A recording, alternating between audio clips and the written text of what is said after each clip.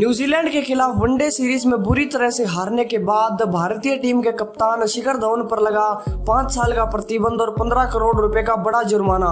दोस्तों, अगर आप भी इस खबर को पूरा जानना चाहते हैं तो इस वीडियो को एंड तक देखिएगा। और अभी तक अगर आपने हमारे चैनल को सब्सक्राइब नहीं किया है तो चैनल को सब्सक्राइब करके नोटिफिकेशन बेल प्रेस करना बिल्कुल ना भूलें। दोस्तों टी ट्वेंटी विश्व कप 2022 के बाद भारतीय टीम न्यूजीलैंड के दौरे पर गई। जहाँ पर टी ट्वेंटी आईज मुकाबले में हार्दिक पांड्या ने भारतीय टीम की कमान संभाली और हार्दिक पांड्या की कप्तानी में भारतीय टीम ने टी ट्वेंटी श्रृंखला जीत ली। इन ओडीआईज में भारतीय टीम ने शिखर धवन को कप्तान बनाया था और शिखर धवन की कप्तानी में भारतीय टीम को ओडियाई सीरीज़ में हार का सामना करना पड़ा।